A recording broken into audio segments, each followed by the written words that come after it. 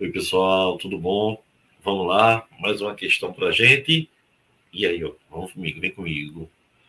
E aí, pessoal, vamos dar uma seguida no canal, dar uma força aí. Nosso canal é totalmente aberto, totalmente democrático. Tá? Segue também o Instagram, tem sempre lá informação, material. Dá uma forcinha. Na molécula representada a seguir, a menor distância interatômica ocorre entre os átomos de que número? Vê que legal, pessoal.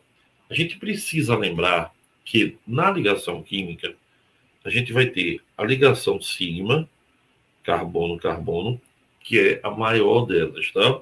Mede 1,54 angstrom. Lembre-se, um angstrom equivale a 10 a menos 10 do metro. Então, a ligação sigma é a ligação maior, a mais longa, eixo a eixo. A ligação π da dupla, ela tem um tamanho intermediário. Ela mede 1,34 angstrom. Quando você tem uma ligação dupla, você encurta a ligação. E a tripla, pessoal, você tem três pares de elétrons. Então encurta ainda mais, né? A ligação sigma pi, que mede 1,20 angstrom.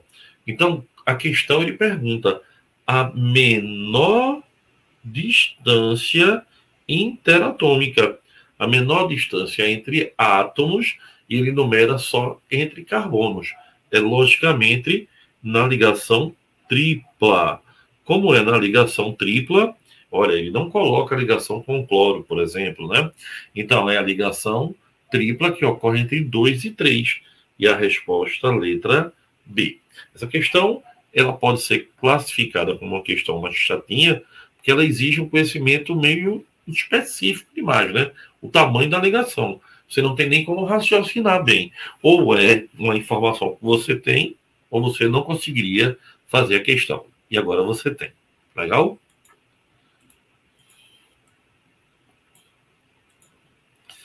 Valeu, meu povo.